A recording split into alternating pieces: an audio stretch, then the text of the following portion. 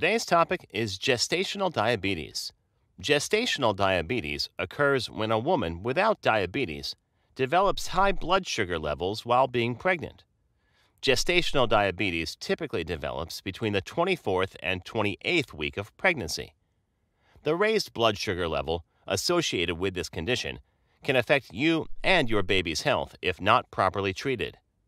If poorly treated, babies born may be at a high risk of being too large, having low sugar after birth, jaundice, and increased risk for respiratory distress syndrome.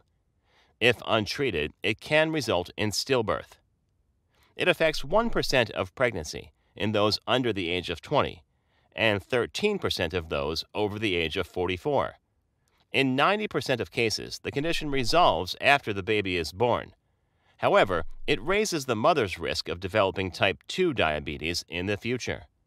It also increases the risk of preeclampsia, depression, and requiring a C section. Causes Researchers don't understand the exact cause of gestational diabetes, but hormones are likely to play a role. Gestational diabetes is thought to occur because of the many hormonal changes that occur in the body during pregnancy. During pregnancy, the placenta that connects the baby to your blood supply produces a high level of various other hormones. These hormones may start to make your body resistant to insulin. Insulin is the hormone that helps glucose move from your bloodstream into your body's cell, where it is used up as energy. Insulin is made by the specialized cell in the pancreas that allows the body to effectively metabolize glucose. As the baby grows, more insulin resistant hormone is produced by the placenta, provoking a rise in the glucose levels that can affect the growth and welfare of the baby. Any woman can develop gestational diabetes but you may be at a higher risk if you are over the age of 25, have a family history of diabetes, have a previous history of gestational diabetes, are significantly overweight, have African, Native American, Asian, or Hispanic ancestry, have polycystic ovary syndrome, have previous poor obstetric history, have previously given birth to a baby weighing more than 9 pounds are a smoker. Symptoms It is rare for symptoms to occur, but if they do, they may include fatigue, excessive thirst, excessive need to urinate, blurred vision. Diagnosis and treatment. The American Diabetes Association employs all doctors to routinely screen a pregnant woman for signs of gestational diabetes.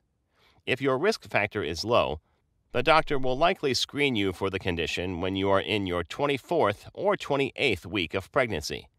If you are at a high risk, your doctor may test for diabetes at the first prenatal visit. Glucose challenge test may be the first line of action. In this test, you drink a syrup glucose solution, after which your blood is tested an hour later to measure your blood sugar level a blood sugar level below 130 to 140 milligrams per deciliter is considered normal. If your blood sugar is above that, it may suggest that you have a higher risk. To determine if you have gestational diabetes, a glucose tolerance test may be required. The glucose tolerance test is performed after an overnight fasting, after which your blood sugar level is measured. A higher concentration glucose solution is then given to you to drink and your blood sugar level measured after every hour for three hours. If at least two of the blood sugar level is higher than normal, diagnosis is confirmed. Treatment To keep the baby healthy, monitoring and controlling the blood sugar level is highly important. This may help to avoid complications during your pregnancy and delivery. Your baby's growth and development will as well be monitored with ultrasounds and other tests.